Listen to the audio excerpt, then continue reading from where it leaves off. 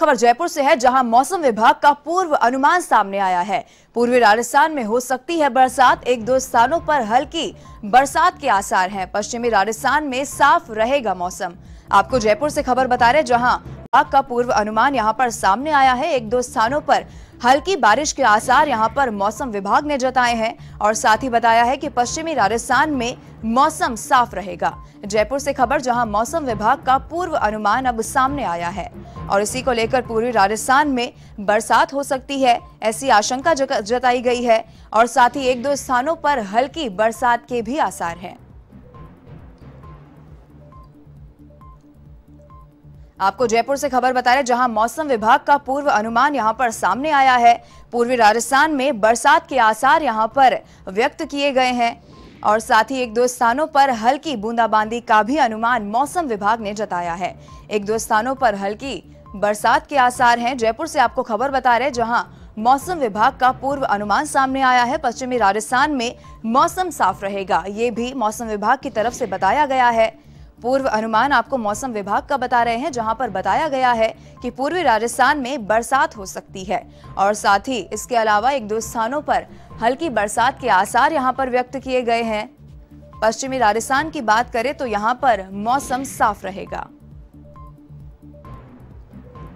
आपको बता दें, लगातार मौसम परिवर्तन हर जगह देखने को मिल रहा है और इसी बीच जयपुर में मौसम विभाग का पूर्व अनुमान सामने आया है। एक दो स्थानों पर हल्की बरसात के आसार यहाँ पर जताए गए हैं।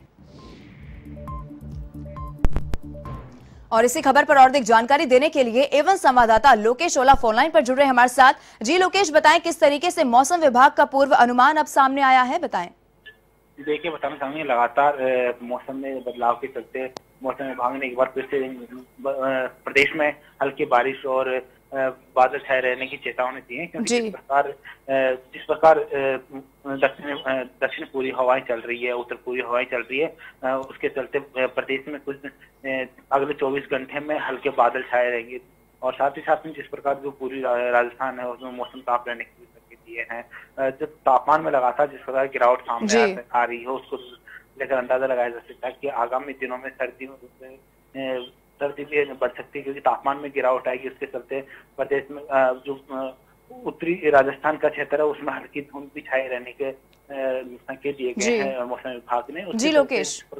जी, जी और मैं बताना चाहूँगा जिस प्रकार बीते दिनों भी मौसम विभाग ने जिस प्रकार चेतावनी दी थी कि राजस्थान में बारिश के साथ में ओले गिरने की संभावना है उसी को देखकर इस बार भी मौसम विभाग ने शंका जताई है कि अगले चौबीस घंटे में हल्की बूंदाबांदी हो सकती है। क्योंकि जिस प्रकार देखा जाए तो सुबह सुबह हल्के बादल छाए रहते हैं क्योंकि जो उत्तर पूरी हवाई चलती वो मध्य सागर से जो हवाई चलती राजस्थान और जो आगे जो पड़ोसी राज्य हैं उनके उनकी ओर बहुत बढ़ती है। इसके जी लोकेश तमाम जानकारी देने के लिए आपका बहुत बहुत धन्यवाद। एक बार आपको फिर से बता दें पूर्वी राजस्थान में बरसात हो सकती है और इसी के चलते मौसम विभाग का पूर्व अनुमान सामने आया है।